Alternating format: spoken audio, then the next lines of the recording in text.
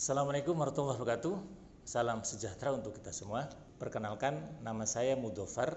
Saya adalah dosen arsitektur Sekolah Tinggi Teknologi Cirebon dan sekarang menduduki jabatan Ketua Program Studi Arsitektur Sekolah Tinggi Teknologi Cirebon. Di samping itu, saya juga sebagai arsitektur profesional dari mulai tahun 2005. Beberapa karya ada di kota Cirebon dan sekitarnya. Berbicara tentang profesi arsitek, ini adalah salah satu profesi yang ada di dunia kerja yang menurut saya adalah profesi yang cukup bergengsi ya. Artinya memang arsitek ini menjadi salah satu penentu dalam satu proyek pembangunan satu kawasan maupun pembangunan satu bangunan.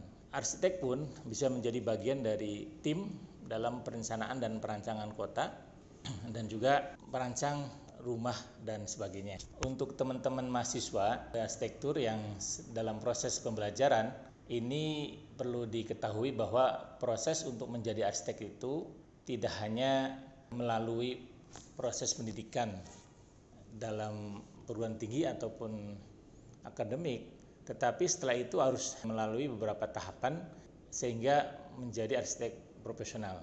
Apa aja tahapan itu?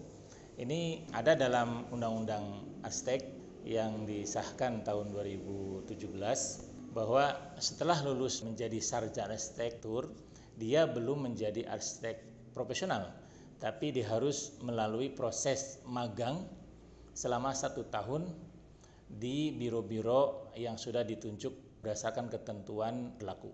Nah, setelah magang, dia harus desain beberapa karya yang akan diajukan untuk proses sertifikasi keahlian arsitek. Nah, proses sertifikasi ini ada beberapa tahap melalui beberapa pelatihan atau dalam bahasa profesi arsitek arsitek profesional itu adalah pelatihan strata. Itu ada 6, strata 1 sampai 6. Setelah itu dia harus mengikuti pelatihan kode etik dan baru setelah memenuhi syarat menjadi arsitek profesional dengan memegang lisensi arsitek profesional berupa surat keterangan ahli atau SKA itu ada tiga. Pertama adalah arsitek muda, kedua adalah arsitek madya, dan ketiga ada arsitek utama.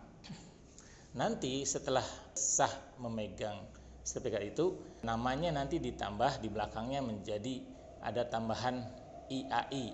Misalkan Mudofar IAI, berarti dia sudah menjadi arsitek profesional. Bagaimana dia menjadi arsitek profesional? Dia bisa bekerja di seluruh wilayah Indonesia berdasarkan SKA yang dia pegang. Nah, kalau dia ingin memperluas di jaringan Asia Tenggara, itu nanti ada proses lagi mengikuti sertifikasi arsitek Asia. Nanti setelah lulus di belakang nama juga dia akan ditambahin ada AA arsitek Asia ya. Jadi kalau misalkan sudah lulus semua, dia bisa bekerja di seluruh negara Asia Tenggara bebas. Lisensi ini berlaku untuk di Asia Tenggara itu. Nanti nama dia Mudofar IAI AA. Ini menarik ya sebenarnya. Jadi eh, lin, profesi arsitek itu bisa lintas eh, negara, lintas wilayah dan lintas dunia sebenarnya ya. Ini menarik eh, ketika teman-teman ingin menjadi arsitek. Bagi mahasiswa jelas proses ini cukup panjang. Teman-teman harus bisa menyelesaikan mata kuliah dengan jumlah SKS 146 SKS. Di situ adalah ilmu-ilmu dasar arsitektur dipelajari untuk menjadi sarjana arsitektur nanti menuju arsitek profesional. Baik teman-teman semua, SCTC yang satu-satunya perguruan tinggi arsitektur di wilayah tiga Cirebon siap membantu teman-teman untuk menjadi sarjana arsitektur sampai dengan membimbing Anda menjadi arsitek profesional. Karena memang STTC sudah kerjasama dengan IAI Jawa Barat, yaitu adalah Ikatan Arsitektur Indonesia Barat. Kita setelah eh, teman-teman lulus menjadi sarjana arsitektur, kita akan libatkan dalam proses-proses menuju arsitektur profesional. Nah, seperti yang saya sampaikan di atas, proses-proses itu harus dilalui oleh sarjana arsitektur untuk menjadi arsitek. Ya, beda ya, sarjana arsitektur dengan arsitek. Arsitek adalah seorang profesi yang profesional dalam mendesain, merancang, dan sebagainya.